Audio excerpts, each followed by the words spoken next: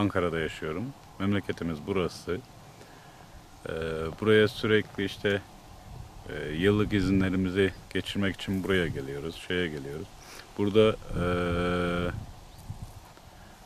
bu ayçiçeğini falan gördüğümüzde yine şey yaptığımızda e, her sene resim çekiniyoruz ama yine de e, gördüğümüzde dayanamayıp yine tekrar tekrar çekiniyoruz, şey yapıyoruz. Yani sadece burasına ait değil, yol üzerinde görüyoruz.